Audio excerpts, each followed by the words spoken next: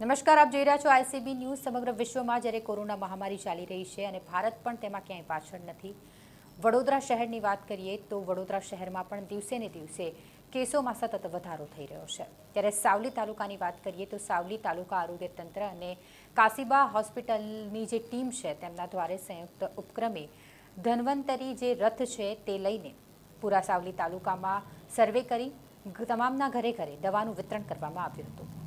સમગ્ર વિશ્વ કોરોના મહામારી સામે રક્ષાત્મક લડાઈ લડી રહ્યું છે ત્યારે વડોદરા જિલ્લાના સાવલીમાં તાલુકા આરોગ્ય વિભાગની ટીમ અને સાવલી હાલોલ રોડ પર આવેલી જે K J institute of Ayurveda and રિસર્ચના ડોક્ટરોની ટીમ દ્વારા સાવલીનગરમાં ઘરે ઘરે ફરી ઘરમાં રહેતા સભ્યો પર તેમની બીમારી અંગેની માહિતી મેળવી.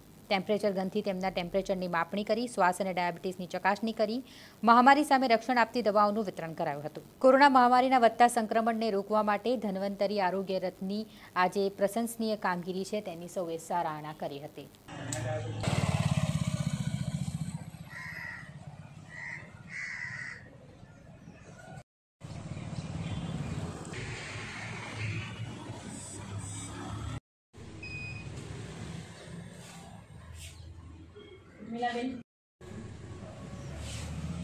હાઇડ્રોક્સીક્લોરોક્વિન ગોળી છે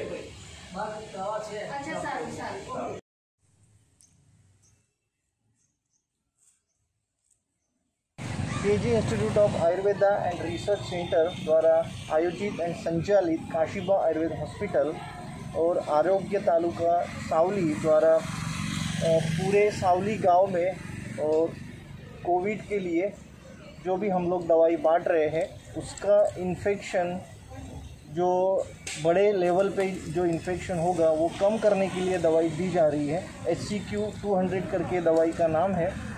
ये दवाई से को इन्फेक्शन अगर हो भी जाता कोविड का इन्फेक्शन अगर हो भी जाता है तो उसकी सिविरिटी कम हो जाती है। पूरे सावली में ईच एंड एवरी घर में each and every public each and every person का हम लोग स्क्रीनिंग कर रहे हैं। स्क्रीनिंग में थर्मल गन से उसका टेम्परेचर मापा जा रहा है। अगर कोई दिखता है तो उसकी पूरी स्क्रीनिंग होती है। उसमें बीपी भी हम लोग देख रहे हैं।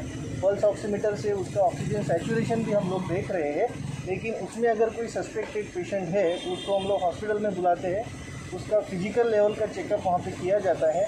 और हम लोग फ़ील्ड में ये दवाई ईच एंड एवरी पर्सन को आँखों के सामने ये दवाई हम लोग खिला रहे हैं।